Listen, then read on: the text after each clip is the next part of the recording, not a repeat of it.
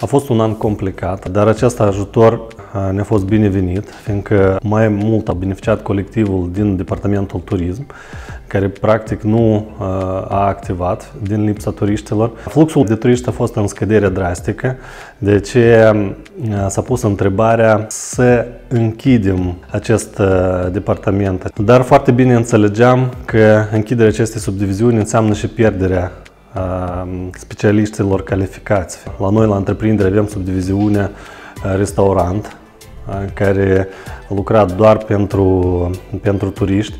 De asta era foarte important să păstrăm colectivele. Asta și-am făcut. Datorită acestui ajutor venit din partea guvernului, am păstrat colectivele și cel mai important, am putut să reluăm activitatea atunci când fluxul de turiști s-a mărit.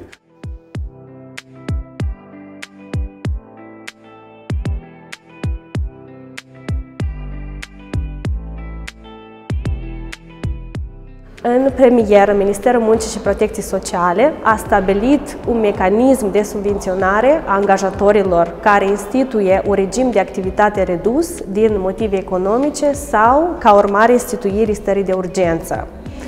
Pentru ca agentul economic să-și păstreze angajații în perioada când întreprinderea are un volum de muncă mai mic, Guvernul vine cu un suport și acoperă o parte din salariile angajaților.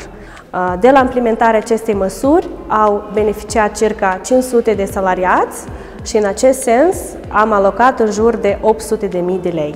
Pentru agenții economici uh, care se află într-o uh, situație complicată, acest ajutor este ca o gură de aer, fiindcă fluxurile bănești uh, sunt la zero și atunci nu ai posibilitatea nici să oferi uh, salariu sau uh, chiar jumătate din salariu angajaților, iar ei au familii, copii uh, sau persoane de care au grijă.